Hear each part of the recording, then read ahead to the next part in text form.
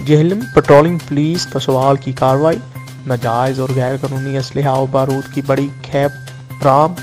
patrolling police post Masa Kaswal में दौरान duty Adnan Iqbal S I ने एक मशकूक होंडा स्विक कार से दो कस मुलजमान को गिरफ़्तार किया, जिनके कब्जा से भारी मकदार में असलहा बरामद हुआ।